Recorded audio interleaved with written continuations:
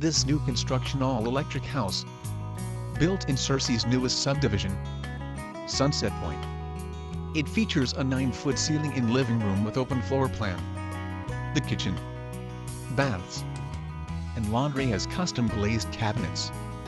There are stainless appliances and a separate laundry room. Large walk-in closet, bath with jetted whirlpool tub and stand-up shower in master bath. There is a tray ceiling with recessed lights in master bedroom. Outside also